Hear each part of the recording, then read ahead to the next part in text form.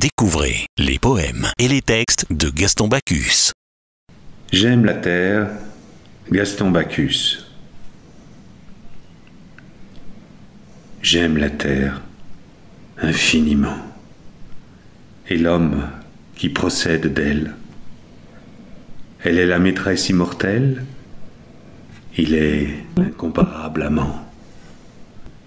Bonne, elle s'épanouit toute ainsi qu'une âme sans remords.